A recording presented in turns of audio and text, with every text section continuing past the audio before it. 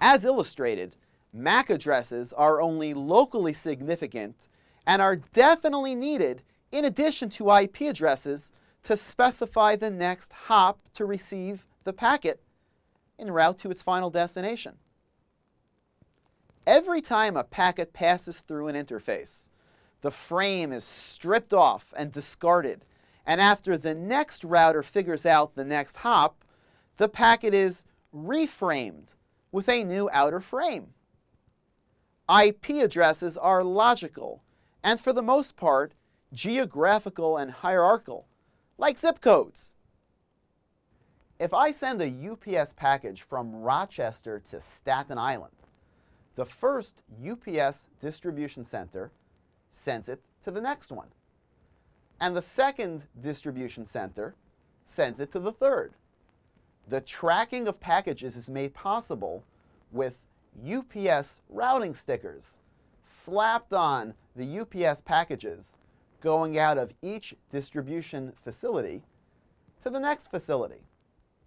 Think of those as the MAC addresses. As a package leaves a UPS distribution center, the sticker indicates which distribution center it's leaving and which distribution center it's destined for. When it gets to the next distribution center, those stickers are removed.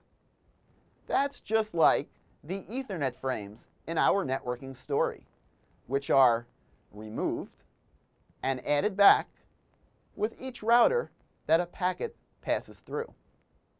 However, on that brown box are to and from addresses which represent the actual person and source location sending the package and the actual person and destination that the package is meant for.